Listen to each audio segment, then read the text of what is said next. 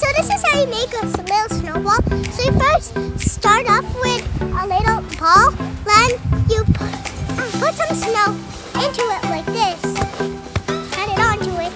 Then when you, you keep doing that to each side of it. Ugh. Or you can just roll it too. Like this. To make it bigger.